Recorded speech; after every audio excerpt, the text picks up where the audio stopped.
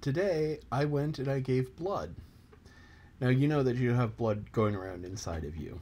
And like if you trip or fall and uh, hurt yourself, scrape your skin, a little blood comes out, you know, the red stuff.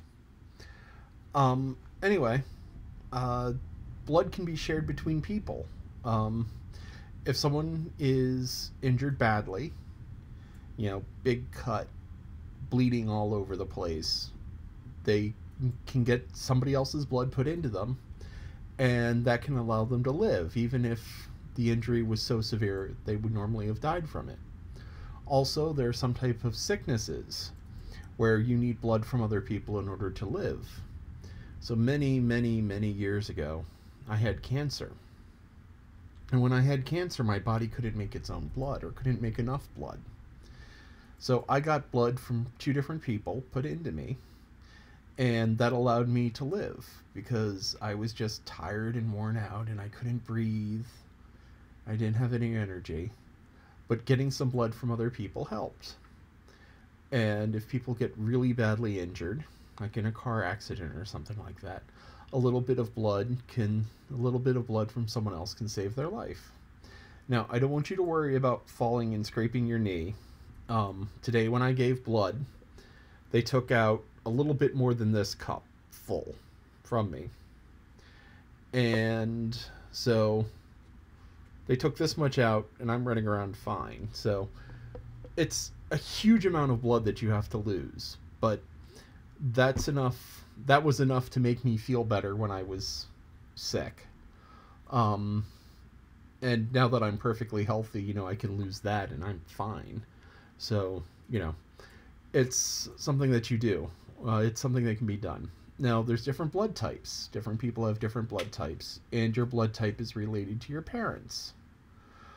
My blood type is O negative, which is very special because there's all sorts of different proteins on the blood. There's the A protein, the B protein, and then the RH protein, which is sometimes called G. But anyway, it's the A and the B, and then the RH. The RH is either positive or negative. and RH is named after the rhesus monkey. Rhesus monkey is not spelled like the candy; it's spelled with an RH, so it's rhesus RH for the blood type because rhesus monkeys were found to have this protein in their blood.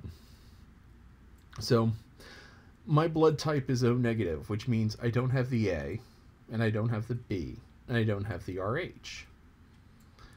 So that means that my blood can be given to someone who has A because what happens is is that if the blood type doesn't match, you can form antibodies. Your body attacks proteins that it doesn't recognize. So, if someone has type A blood, they can get A or O because A doesn't have A has the A protein and O doesn't have any proteins. And B can take B or O. And then there are some people who have AB blood, which means they have both the A and the B protein. And so they can take A blood because they recognize the A protein. They can take B blood because they recognize the B protein. They can take O blood because it doesn't have any proteins. And then you have to match the positive and the negative.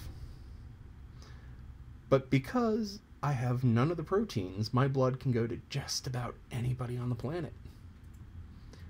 You could take a line straight from my arm, put it into just about anybody, and they'd be fine with the blood. Which makes it very special, which means I should donate blood more often because I can help more people. I can help a bigger variety of people. So, here's a picture of the machine that they used to collect my blood. They went and they took this much and they cut it in about half because this is all of the solid blood part. And they put the liquid back in. Pump the the plasma which is just sort of this salty water with proteins and sugars and other stuff. They put the water back in but they kept out the solid blood cells that need to survive and here's a picture of the thing in my arm. I have I have the needle covered, so you just see this red tube and red tube going out. And then afterwards, they gave me juice and cookies because you know you have to build up rebuild all the blood and so you know a little bit of food helps because it can be a very tiring process and as i said i'm feeling fine maybe a little bit tired but it's nothing. It's just like a long day tired not even like a bad tired. And then after they took the blood they put a bandage over top. And then here is a picture of about an hour later, and that little red dot in the middle of the picture there is where the needle was in.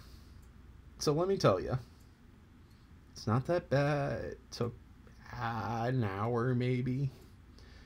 And the worst part was when they tore off the tape. So regicide, that is giving blood and I will talk to you later.